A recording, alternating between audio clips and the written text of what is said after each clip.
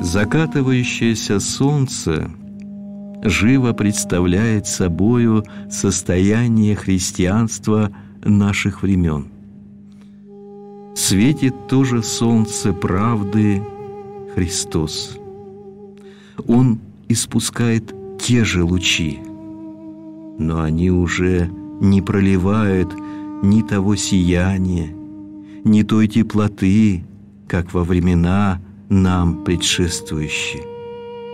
Это от того, что лучи не падают прямо на нас, но текут к нам лишь в косвенном, скользящем направлении.